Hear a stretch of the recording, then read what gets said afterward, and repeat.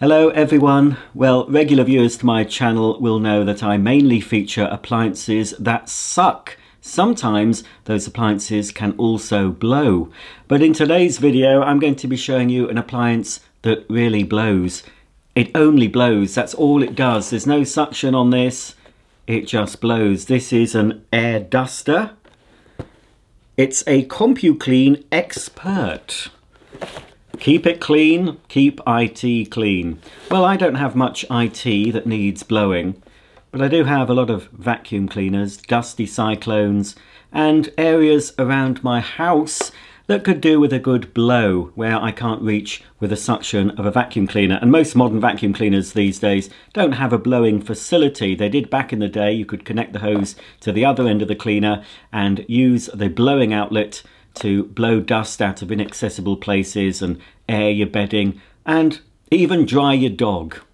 So this, I wanted this mainly to use when I'm refurbishing vacuum cleaners to help blow out dust from the motors, blow out dust from the cyclones, and also to use around my home. Okay, without any further ado, let's get it open and have a look at all the accessories included.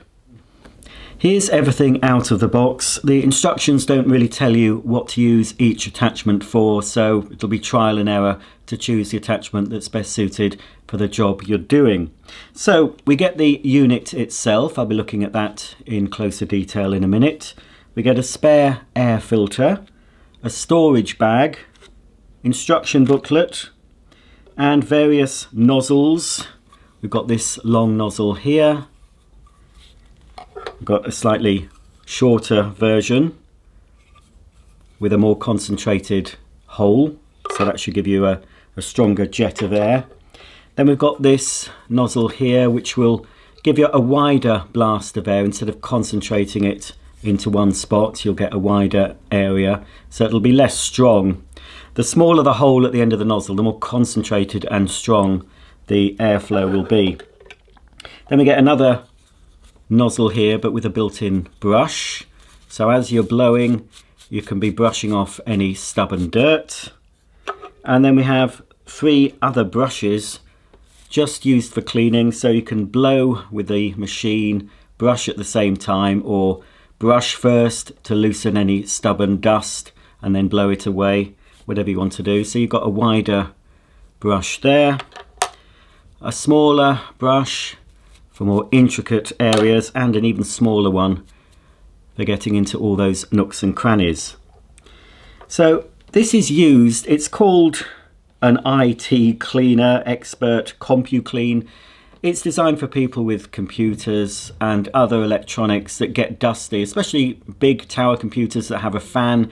They're, the fan obviously sucks air in from the room to keep the computer cool, but it's as well as sucking air, it's going to suck dust into your computer. So from time to time, you want to use something to blow the dust away. You can use those compressed cans of air, but that's a constant cost. You have to keep buying them, or an air compressor. But this is a bat. Uh, I was going to say battery. This is a mains powered blower. So it takes the air in from the room via the little filter. So you don't want to block that when you're using it. You've got two speeds, and you have to keep your finger on. So you've got high speed and a low speed. And it says in the instructions not to use it continually. It will get hot, so it's best to use it in short bursts. This is not the sort of appliance that you'll be using for long periods. It's for quick bursts uh, of cleaning. You're not going to be wanting to clean your electronics for hours at a time or even several minutes, but just use it for a couple of minutes. If it gets too hot, leave it to cool uh, and then continue using it. So it looks, I don't know, looks like a little bit of an electric kettle. It's quite small and light. It's got a nice sort of rubberized finish on it. And I like this retro cable in red. Looks very uh, old-fashioned somehow, but it kind of goes with this. It's, it's a nice touch. And of course, this is a UK version, so it has the UK 3-pin plug. If you're buying this outside the UK, of course, it'll come with the plug for your particular country. So if you're watching with headphones on, you might want to lower the volume. It could be loud, so I'll start off on the low setting first. Well, that's not too bad. now on high. well, pretty powerful. It's blown everything off the table. But yes, and that's obviously, I mean, that's without any concentrator nozzle on. So once we fit a nozzle, we're going to get more of the power, more concentrated airflow. So if I put on the brush nozzle, it's a bayonet type fitting. You've got two pips either side of the hole and you can see on the nozzles they're shaped so you put them in like a bayonet light bulb really so it just goes in like that. Let's move these nozzles out the way in case I blow them off again.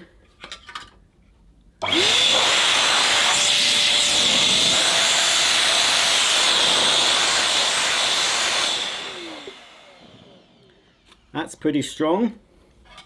This will be useful when I want to blow out the dust from an electric motor. Especially electric motors you you can't really service. Some vacuum cleaners have motors that aren't really designed to be taken apart and repaired. But at least with a machine like this I can at least get the dust out of especially the fan blades um, cylinder cleaner. If it's got an aluminium fan you can get a lot of crud built up in the fan blades and that can unbalance the motor and make it sound noisier. So using something like this hopefully in the course of my refurbishments might help me. So I would say that this is the most concentrated nozzle. So um, yeah, this, this I will use for the cyclone cleaning and we're going to take, um, I've got a cordless Dyson I've been using a bit. It shouldn't be too dirty but interesting to see how much dust comes out the cyclone. So I'll be using that in a minute. This is a nozzle I'd say if you want to dry your dog, probably that's the best one to go for.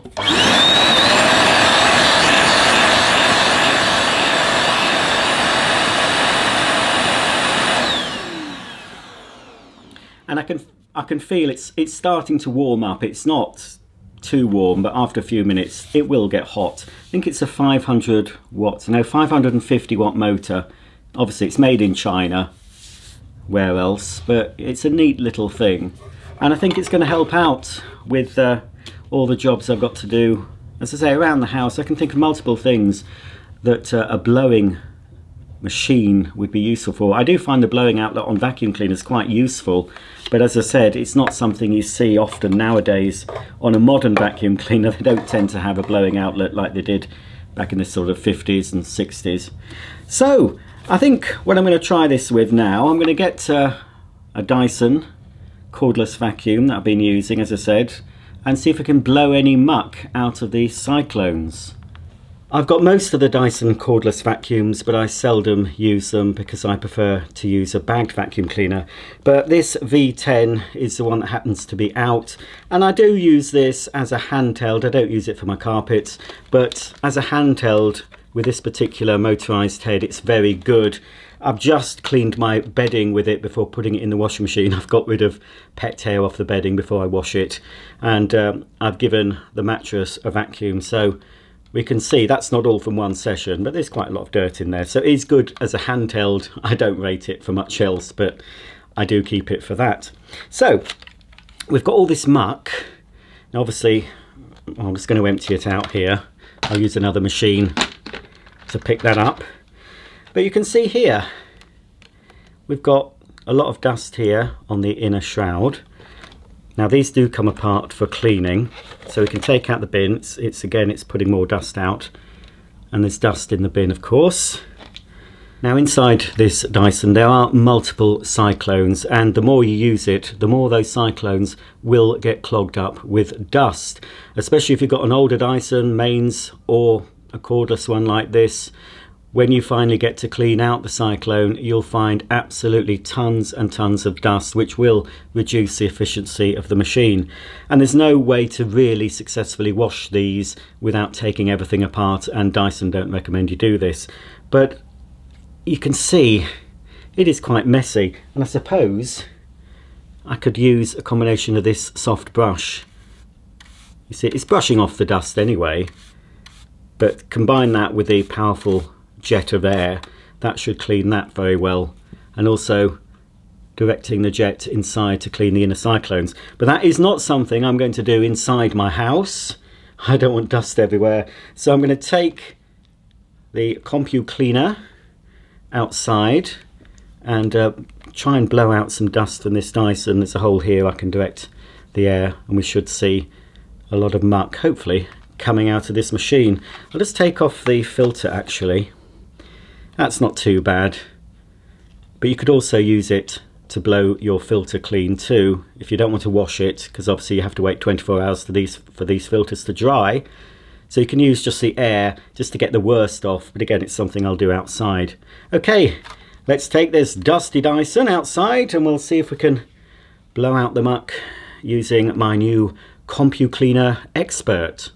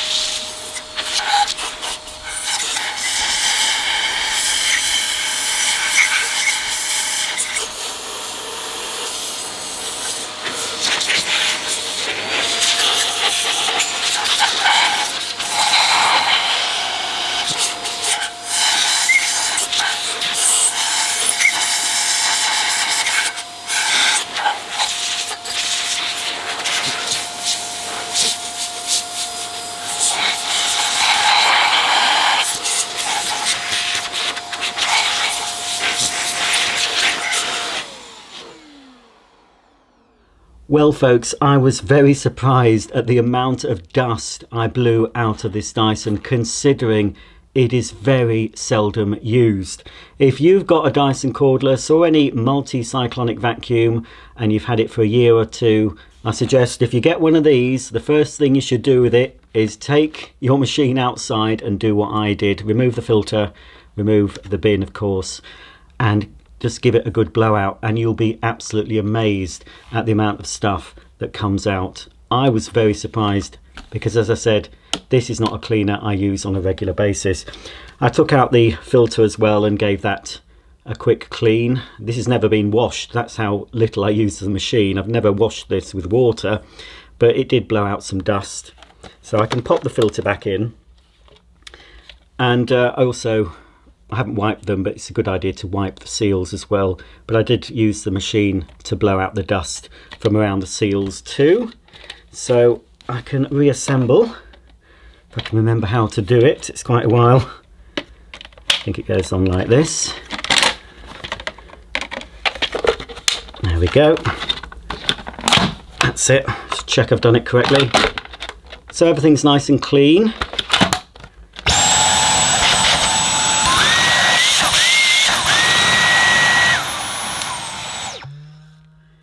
So there you go.